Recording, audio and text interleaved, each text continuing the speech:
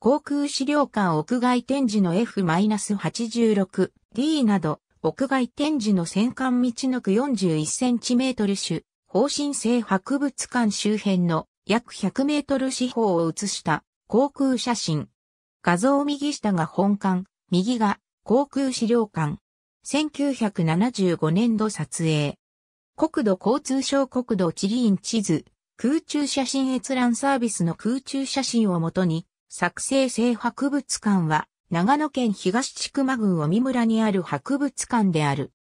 尾見村が、尾見村清高原観光施設の設置及び管理に関する条例に基づいて一般観光客などの利用に供することを目的に設置している博物館であり、西高原の西湖畔に位置する。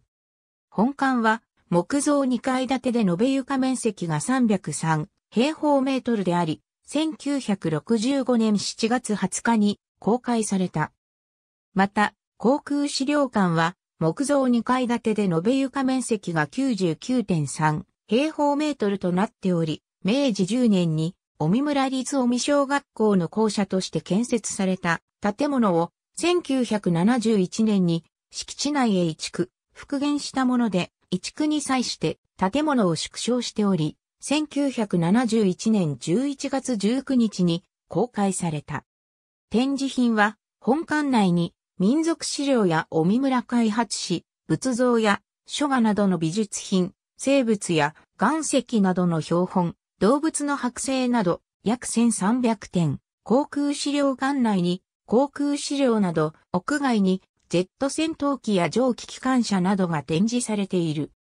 2012年にはリニューアルを実施し、木彫りら肝臓などを展示品に加えたほか、既存の展示品についても並べ替えや説明の追加を行った、尾見村清高原観光施設の設置及び管理に関する条例品の毎日新聞2012年4月25日長官、尾見塾の魅力わかる展示に、聖博物館の改修工事終了、国立科学博物館、国立科学博物館産業技術の歴史。ありがとうございます。